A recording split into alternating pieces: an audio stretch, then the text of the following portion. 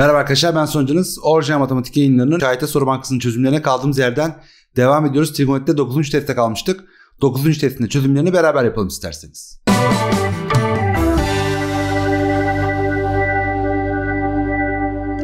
Şimdi 9. testimizin ilk sorusunda bize bir birim çember vermiş. Sonra da demiş ki burası alfa alfa sonra OA OK DC için neler söyleyebilirsiniz? Şimdi ben kenarları trigonometrik fonksiyon cinsinden yazmaya çalışsam mesela OA'dan bahsedelim. OA neresi? Burası. Şimdi burası alfa ise burası alfadır. Şimdi burası 1'dir. Şimdi karşı bölü hipotenüsten o zaman bizim şurası OA dediğimiz şey galiba sinüs alfa olacaktır. Uzunluk olarak. Zaten o da bize ne soruyor? Uzunluk olarak oranlarını soruyor. OK neresi? OK burası. Şimdi burası alfa ise burası da alfadır. Şöyle iç ters açıdan.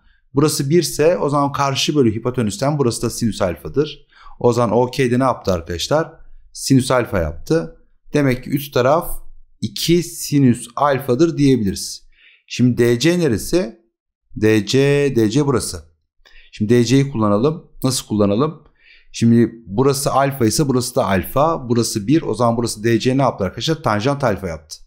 O zaman bizim burası tanjant alfa yaptığına göre bizden istediği şey nedir? 2 sinüs alfa bölü tanjant alfa. Şimdi tanjant yerine şey mi yazsak acaba? Sin alfa bölü kos alfa yazsak. Sonra bunu ters çevirsek o zaman 2 sin çarpı kos bölü sin. E, sinler birbirini götürür. Ne yapar? 2 kosinüs yapar. Şimdi benden istediği sorunun cevabı o ama şıklar öyle demiyor. 2 kosinüs deniz olmasın sakın. He. Yani 2 olan OL neresi? OL eğer ki kosinüsse o şık. OL OL. OL burası. Evet tamam bakın burası da kosinüs alfa. Değil mi? Doğru oldu. Aynen. O zaman doğru cevabımız ne geldi? Denizli geldi diyebiliriz. Zaten iki olan bir tek şık oydu. Onun da öncelik verdik. Şeklinde ne yapabiliriz? ifade edebiliriz. Bu ilk sorumuzdu. Geldik ikinci sorumuza. AB uzunluğunun Şimdi AB kenarı x eksen üzerinde olan A noktasına birim çembere teğet dikdörtgeni aşağıdaki şekilde gösterilmiştir. Şu açılar eşit. Şimdi mesela şu açıyı şuraya taşısam burada bir ikizkenar üçgen oluştu diyebilirim.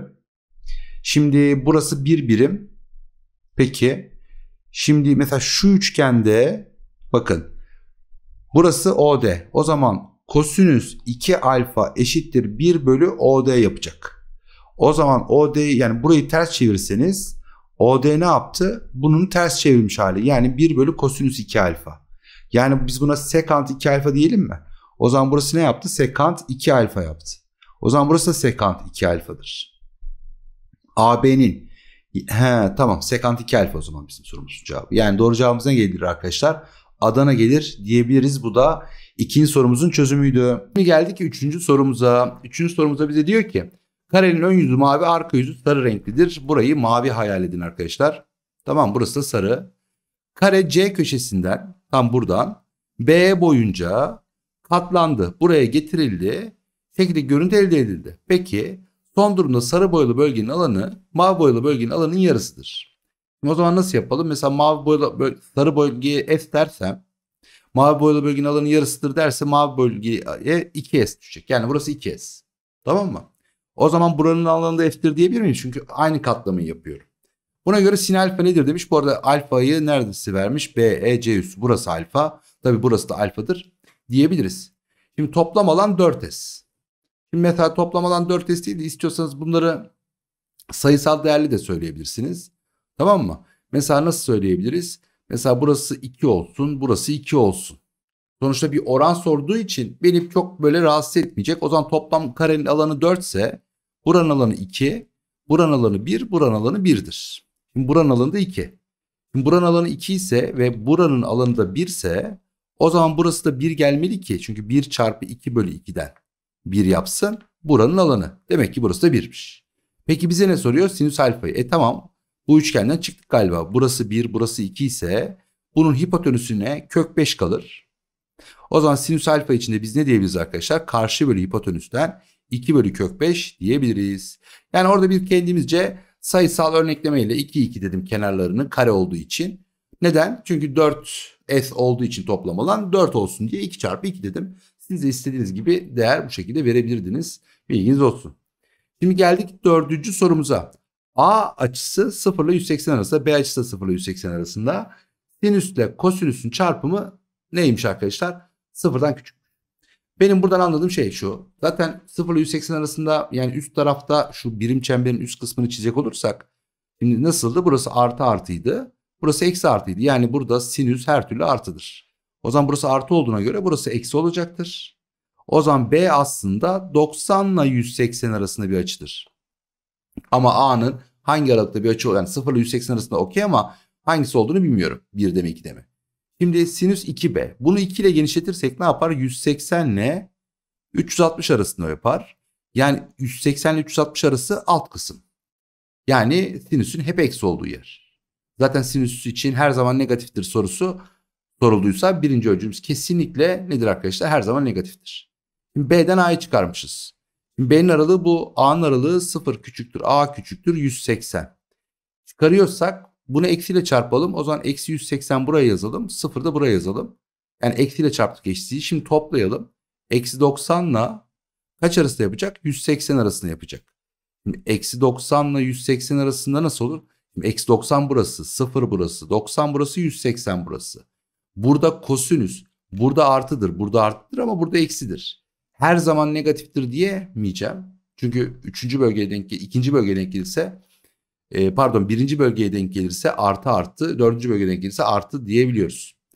Sinüs 2A bunu 2 ile genişletirsek bu sefer 0 ile 180 arasındaki olan bir açı 0 ile nerede olacaktır? 360 arasında olacaktır. O zaman bütün birim çemberi içinde herhangi bir bölgede olabilir bu 2A.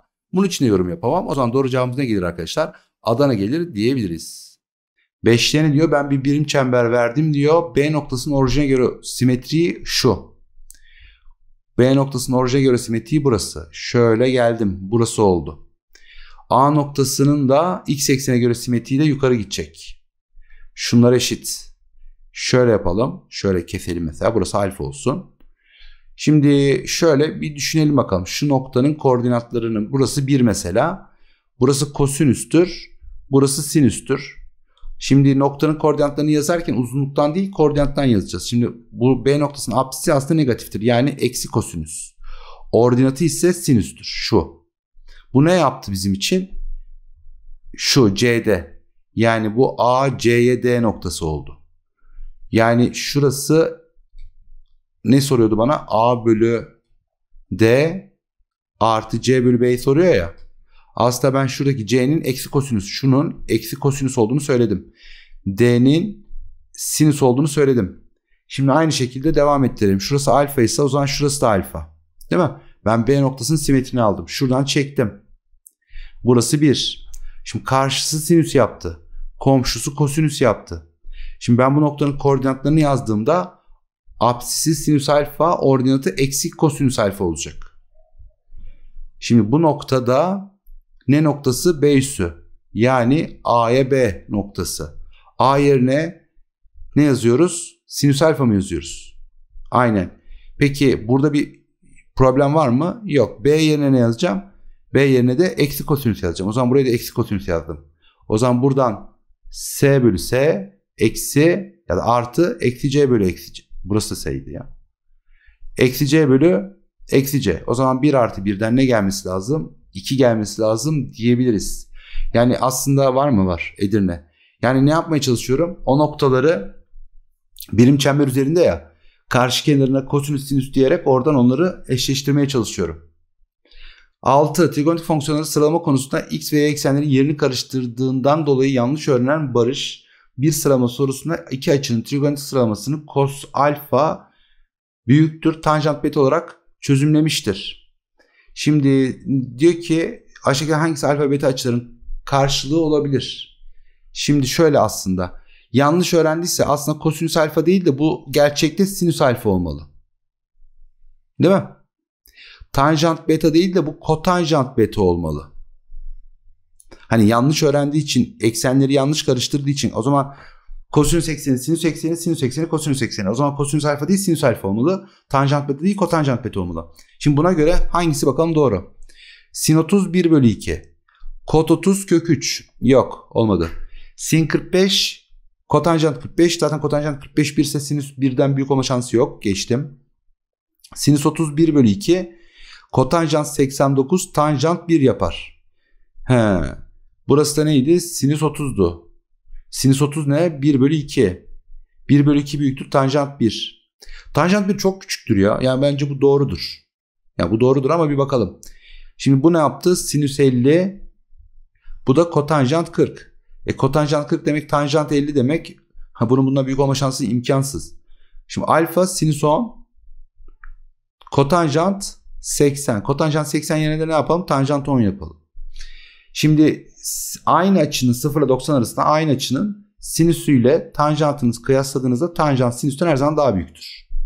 Nereden biliyorsun hocam? Bakın birim çemberde şöyle devam ettirdim. Bu noktanın y'si sinüsken siz bunu devam ettirdiğinizde şurası size tanjantı verecek. Bakın tanjant sinüsten daha büyük geldi. Bu genellemiş hali budur aslında. Aynı açıda. Nerede? 0 ile 90 arasında. İstersen tanjant 1 ile sinüs 1 kıyasla. İstersen tanjant 30'da kotanjant ay, sinüs 30'da tanjant 30 kıyasla.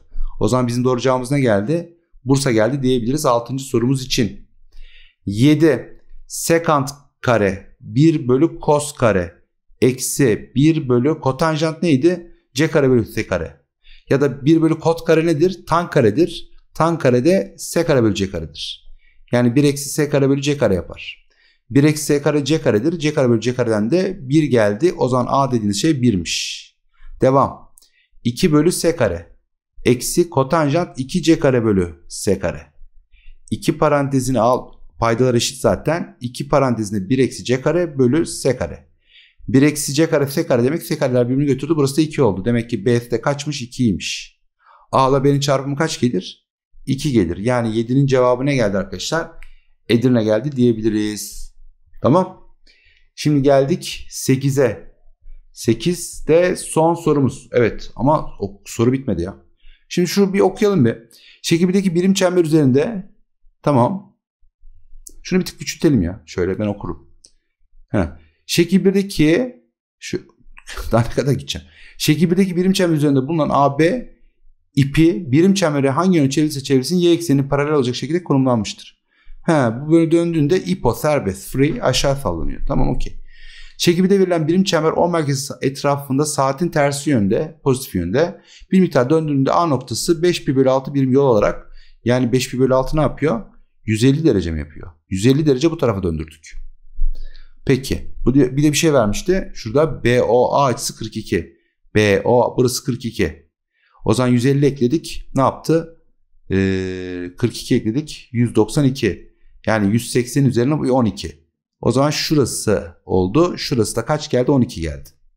Şimdi bizim ipimiz buradası aşağı sallanacak. Tamam. Buna göre B üstü noktasının x ekseni uzaklığı aşağıdakilerden hangisine eşittir? Yani şu ipin uzunluğu için biz burası 1 ise burasına mesela karşı bölü hipotenüsen sinüs 42 deriz. Bir de şurası var galiba. O da burası 1 ise karşı bölü hipotenüsen de burası sinüs 12'dir. Yani sinüs 12 ile sinüs 42'nin toplamı kadardır. Sinüs 12, sinüs 42 Bursa. O zaman doğru cevabımız ne geldi arkadaşlar? Bursa geldi diyebiliriz. Bu da 8. sorumuzun çözümüydü. Ve böylece trigonometride de 9. testi tamamladık. Bir sonraki testte yani 10. testte görüşmek üzere. Kendinize iyi bakın. Hoşçakalın.